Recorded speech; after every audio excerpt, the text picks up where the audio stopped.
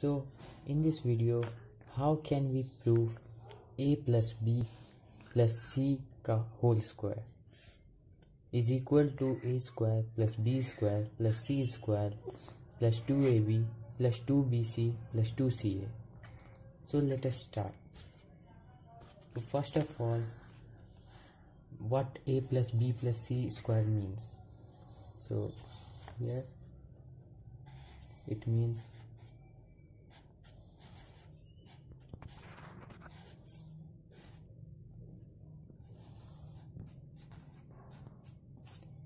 it means squaring a plus b plus c or multiplying a plus b plus c. So here we multiply this first of all by by a and then by b and then by c. Okay? So here let us do first by a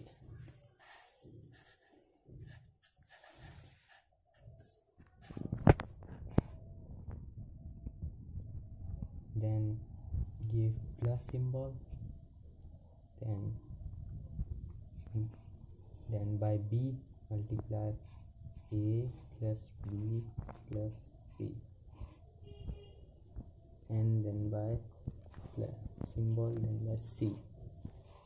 A plus b plus c.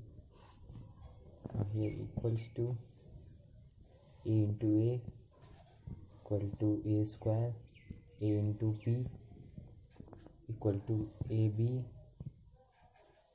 a into c is equal to ac then here give plus symbol first then a into b equal ab then b into b is equal to b square and then b into c is equal to bc or cb now give plus symbol and then c to a. Then a into c is equal to ac then c into b equal to uh, let us check how many a square is there. There is only one a square. Then write a square then see how many b squares b ab is there? 1 ab and 2 ab is a 1 ab 2ab no plus 2ab then see how many ac is there? See, 1 ac and 2 ac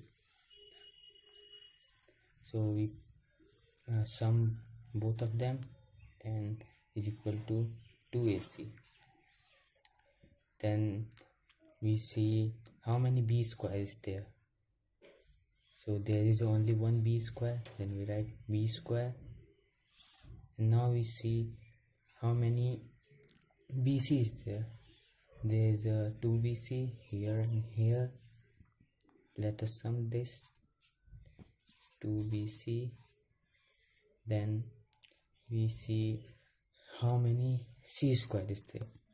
There's only one c square c square. Then let us arrange this. First of all square a square plus b square plus c square plus 2ab plus 2bc plus 2ca